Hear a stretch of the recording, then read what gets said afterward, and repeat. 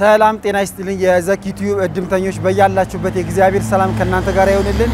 በቀን ከ1100 በላይ የነዳያን ምገባ እንደቀጠለ ነው።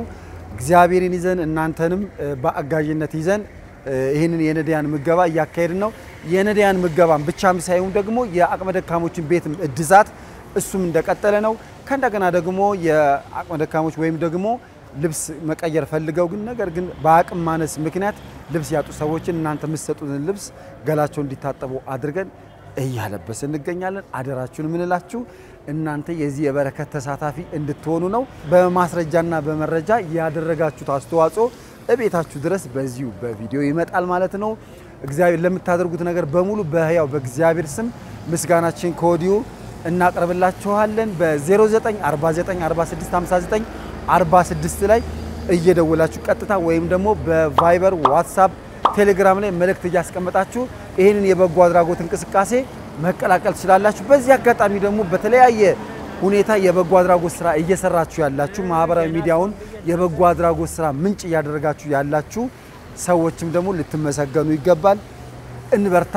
እግዚአብሔር አምላካችን አገራችን ኢትዮጵያን ሰላም ያደርግልን። የበለጠ የበለጠ ደግሞ በመረዳዳት በመደጋገፍ ነው ይህንን ጊዜ የምናልፈው ብለን ስለምናምን በበጎ አድራጎት ስራችሁ እንድትሳተፉ አደራ።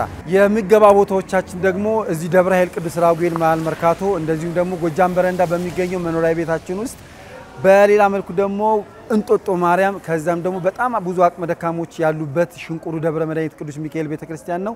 አደራችሁን ምላችሁ እዚህ ቦታ የምናካሄዳቸው ምገባዎች እየተሳተፋችሁ የበረከቱ ተሳታፊ እንድትሆኑ አደራ አደራ እንላለን።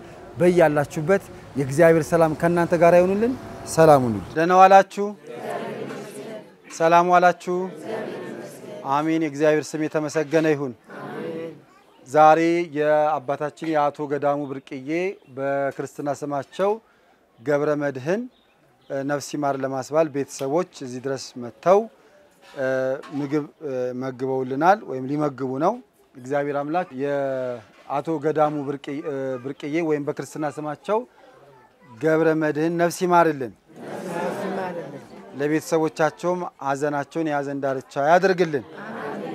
ለአንድ ሰውም ተንቀሳቃሽ ቤት እንደዚህ ሰጥተውልናል። ከዚህ ቀደምም ደብረ ኃይል ቅዱስ ራጉኤል ከአምስት መቶ በላይ ሰዎችን ነዳያን መግበውልናል። እንግዲህ ሀዘናቸውን በእንደዚህ አይነት መልኩ እግዚአብሔራዊ እያደረጉት ነው። በጣም ነው የምናመሰግነው። እግዚአብሔር ነፍሳቸውን ይማርልን።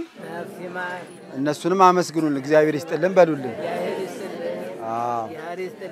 አሚን አሚን አሚን። ቀጥታ ወደ ምገባው ቀጥታ ወደ ምገባው እንሄዳለን።